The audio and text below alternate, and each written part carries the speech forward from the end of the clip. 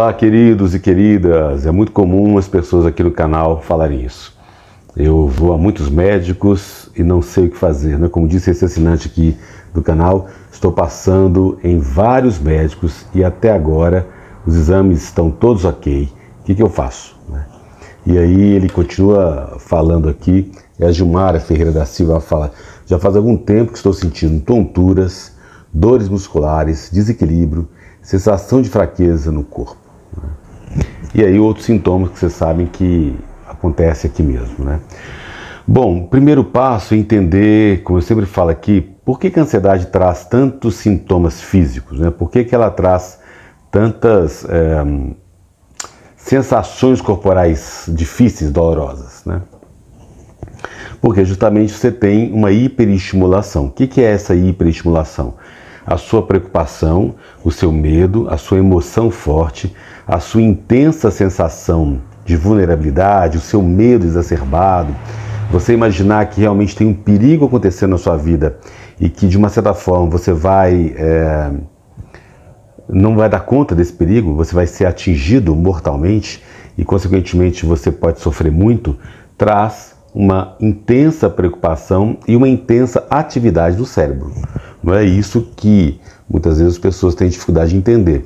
O meu pensamento ele fica muito acelerado. Imagina, se eu estou é, correndo de um ladrão na rua, se o trânsito está muito ruim, difícil, eu estou muito irritado, você começa a acelerar os pensamentos mesmo. Como que eu vou fazer para me defender? Como que eu vou fazer para ficar mais tranquilo?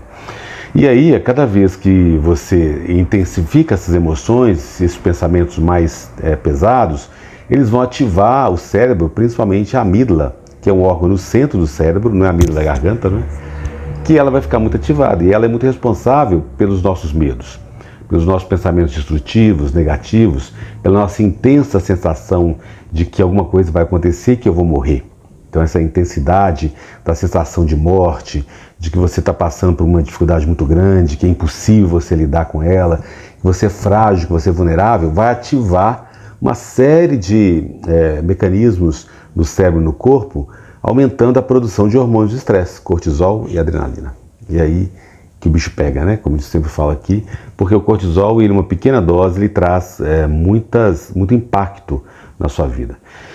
Quanto mais entendendo isso, você vai diminuir as suas idas ao médico, né, aos hospitais, porque seus exames estão ok. E por que, que você vai diminuir sabendo disso?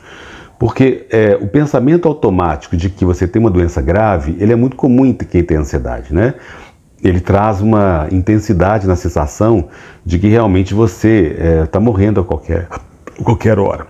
Então essa vulnerabilidade faz parte da ansiedade. Compreendendo isso, você vai construir um caminho mais lento porque esse pensamento que eu estou morrendo, é, eu, eu, qualquer momento eu vou desmaiar, ou estou é, com muito medo de morrer, ou pensamentos suicidas, eles são automáticos, né? eles são muito é, frequentes e você não tem controle sobre eles. Agora, o caminho mais lento é esse quando você começa a cultivar na sua mente essa percepção, essa sabedoria de que é, a ansiedade não mata, a ansiedade não causa AVC, a ansiedade não traz tumor, não causa câncer. A ansiedade não causa nenhum problema grave, nem fisiológico e nem neurológico. Quanto mais eu acredito nisso, é, e por que, que eu posso acreditar nisso? Além das evidências científicas que a gente tem, você vai perceber que ao longo das suas idas aos médicos, né, por exemplo, tem pessoas que vão anos em médicos fazer exames e está tudo ok. Aí você olha para trás e fala: opa, peraí, se eu tivesse que morrer, eu já tinha morrido. Então, mais do que acreditar em mim que eu estou falando, né? É, em outros psicólogos ou médicos ou é, artigos científicos ou nos exames, você acredita em você, que é mais difícil na ansiedade, né? Mas é possível quando você pensa assim, peraí, deixa eu olhar o que aconteceu comigo no último ano. Nossa, eu passei tão mal, né? Como aqui a, a assassinante falou, eu tive tontura, desequilíbrio, dor muscular, sensação de fraqueza no corpo, e eu, provavelmente ela está sentindo isso há meses, não é? Como você também deve estar sentindo isso há muito tempo. Então, aí você fala, pô, eu estou sentindo isso há meses e não tive nada grave, né? Então, por que, que será que está acontecendo? É claro que as pessoas, a gente tem muitas notícias aí de pessoas, por exemplo, em morte súbita, como o filho do Abílio Diniz, né, João Paulo Diniz. Mas aí já tinha um problema cardiopatia, né? Por isso que eu sempre falo, gente, vamos consultar o cardiologista, né? Para verificar se você tem uma cardiopatia. Aí é diferente.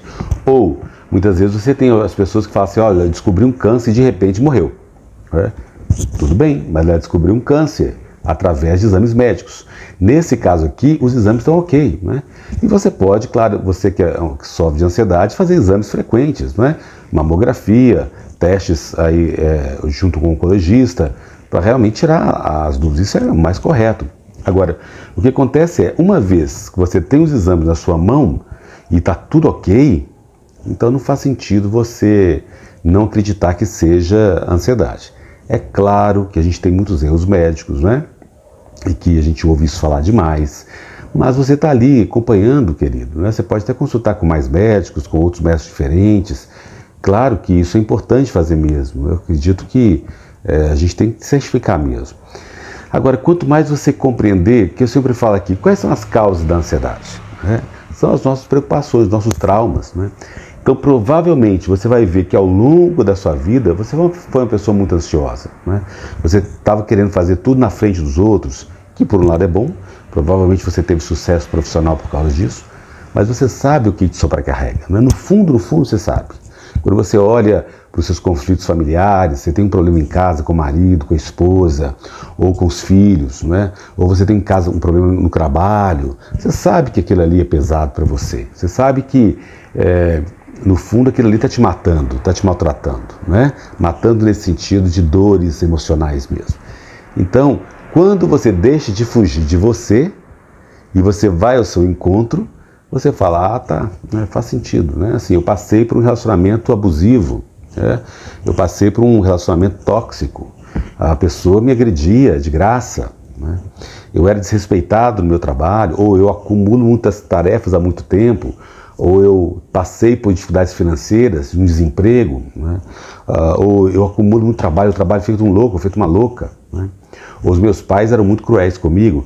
Você, quando você olha para você, você fala, putz, então faz todo sentido eu estar tá sofrendo essa ansiedade, porque minha vida não está sendo fácil em termos emocionais.